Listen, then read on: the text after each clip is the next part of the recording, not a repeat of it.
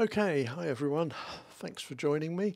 So uh, in this session I'm going to show you how to lighten or darken different areas of a picture, something we often have to do. In this particular example, as you can see, we've got this area in the bottom left of some rather bright rock, um, which is a bit distracting really, because that's not where the where we're trying to direct the viewer. We're trying to direct the viewer into the scene not be distracted by this brightness at the edge. So um, what we're going to do is we're going to make a selection around this and then adjust it on its own. Now what I recommend you do is you zoom in so you get a really good shot of the area, a good look at the area when you're making these adjustments. So to do that I usually use press the alt key and then use the mouse scroll to zoom in then you can press the spacebar and hold it and use the mouse click and drag to get the part of the image that you want to adjust nicely on the in the frame. So the way we're going to select this, there's lots of ways you could select this. You could you could do it manually using the the, the you know the um, lasso tool and go around like that but we're not going to do that. A quicker way is to go up here and select the quick selection tool, which is the middle one there. And what this does is it automatically selects by colour and, and shade.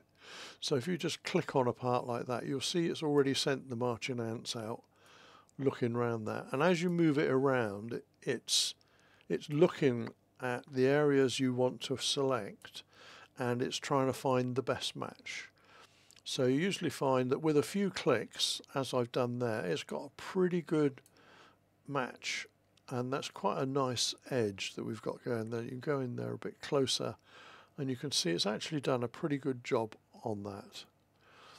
Um, so I'm quite happy with that as a selection.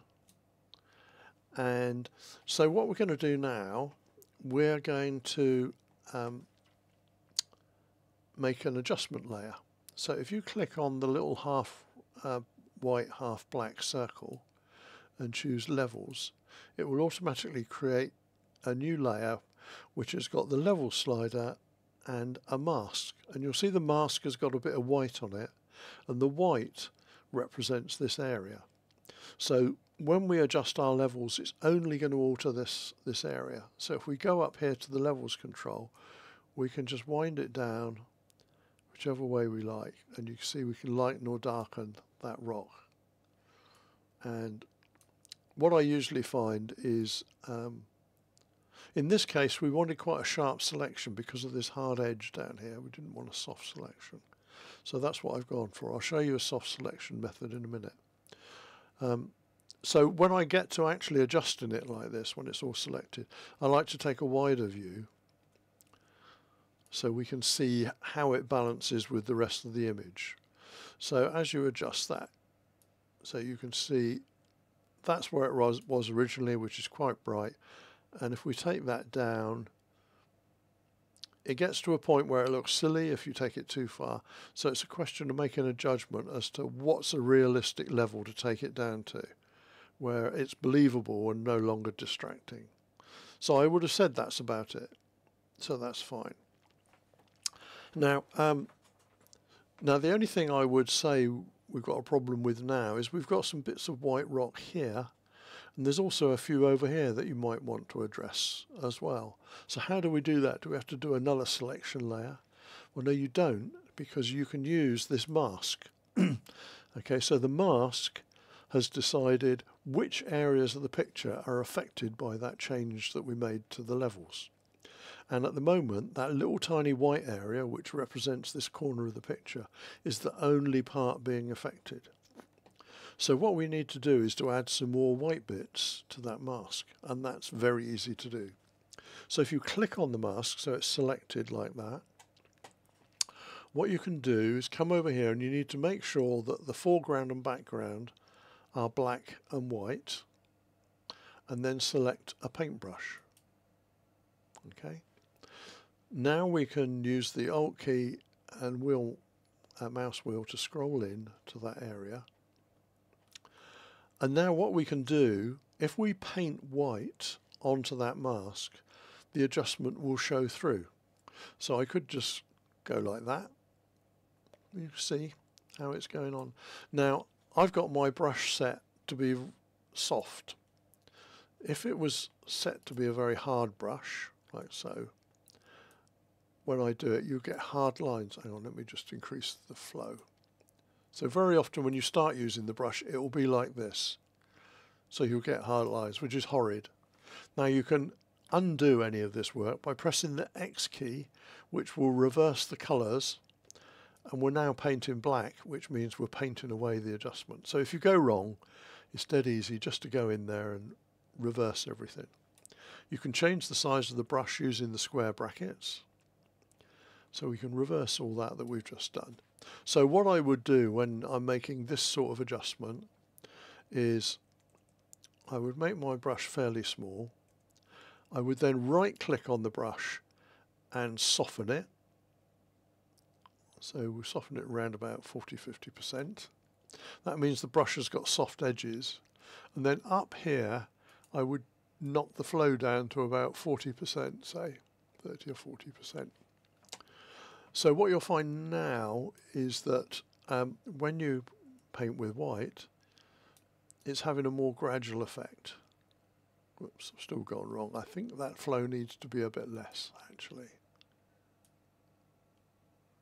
So down to about 20%. And remember, you can still do the same thing where if you press X to reverse those colours, you can unpaint the adjustment. If you press X again, it will paint the adjustment in. So we can just go in and paint the bits that we want just to tone that down a bit more. So that's probably enough just to bring that down. Now we can do exactly the same thing over here. On these rocks over here, we can paint on there as well with using the X and the uh, X button to change between black and white. So when we're painting white, we apply the adjustment. When we're painting black, we take it away. So you can do that any parts you like. And all we're doing is actually painting on that mask at the moment, but it's allowing that adjustment to come through. So that's an easy way to go through and take out quite targeted bright spots in your image. And that works uh, pretty well, really. So the other thing that we can do we go back um, to when it was just opened, we won't worry about those. So what we might also say in another occasion is that these trees over here are a bit dark. we might want to lighten up these trees because they're they're not matching these at all. so we might want to do that. So how could we do that? Well, we still use an adjustment layer, but we do things slightly differently. In we pick, say, the polygonal lasso tool and we set a feather up there of about 50 pixels, it can be even more, and we then just roughly draw around the area that we want to adjust. You can use any of the selection tools to do this, it doesn't matter which ones you use. Um, and just draw around that we're doing a very soft selection because we've got 50 pixels. And that's why you'll find it goes to all curved edges like that.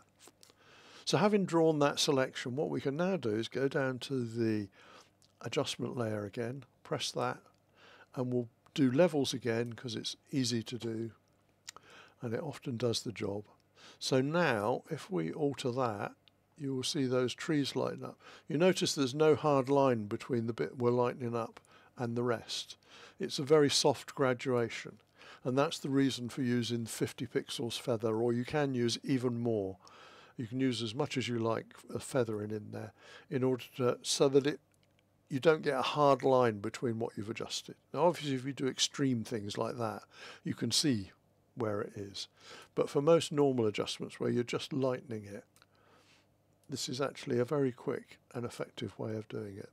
And you can do lots of these layers all over the image. So you, I could mark this one up as, you know, background trees. I could do another layer and pick another area that perhaps needs darkening down or lightening up. Uh, and you can build up layers and layers of these adjustments just to get the image exactly how you like. And of course, you don't just have to darken or lighten it in levels. You've got all those options available of um, the the color, brightness, contrast, curves, etc. that you can use, and you can add adjustments layers. So they're a very um, convenient way of lightening and darkening parts of the pictures. So I hope that's proved helpful. Thank you very much for watching. We'll see you again soon.